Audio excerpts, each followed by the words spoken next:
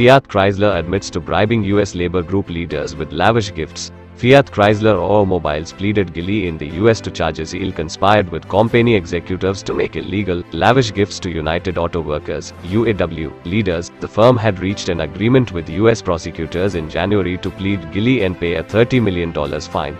US District Judge Paul Borman accepted Fiat Chrysler's guilty plea.